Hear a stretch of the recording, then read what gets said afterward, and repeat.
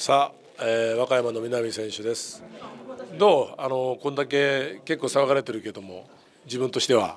いやもう騒がれるほどの自分ではそんなに実力っていうかあまり意識し意識というか認識してないんでまああんまり惑わされずにしっかり自分の力を出して頑張りたいと思います、まあ、だけどさ全く注目されないよりも注目された方が実は競輪って走りやすいはずなんだけど。あいや僕はどっちかというと注目されてない中の一人が勝つっていう方が いいかなと思うんで。うんそれはねあの走りやすいのは注目された方がみんなが気にするのであはあの展開としてはやりやすくなるはずなんだよ。でそこを生かさなきゃいけない。そうですね。ちょっとレースうまく走れるように、はい。あのほホットが出るとなんか自分でしないと自分の方にあのうんもうんというかレースも向いてこないのであの勝手にねみんなが意識してくれるからあの走りやすくなっていくんだよ。そうですね。じゃああのしっかりそこを今アドバイスいただいたんで考えて走りたいと思います、はいね、でもあの練習はどう？あの自分でなん、ままあ、あの納得いくまでできてるの？あそうですね。もうちょっとあの前回からちょっと日数空いたんで、まあ、しっかりウェイトと練習とケアとでしっかりやってきました。今は何？どの辺が一番中心として？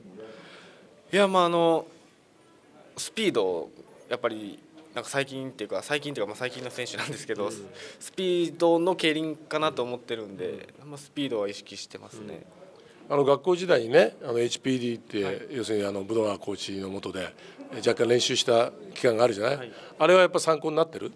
あそうですね。もうその何をしてたかとかも覚えてますし、で今も脇本さんとかも活躍してますし、で和歌山のグループの練習でも最近ちょこちょこやっぱり取り入れてる部分もあるのでやっぱり意識はしてますね。えこの後あそこへ戻る気はないの？そうですね。考えてないですねオリンピックすぐだぞ？そうですね。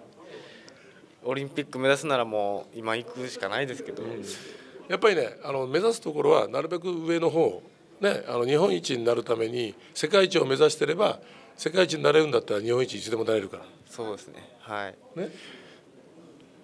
考えます。ちょっと。いやでもねあのこうやってあの若い君たちがねあの活躍していることをあのファンの皆さんも喜んでると思うんで。はい。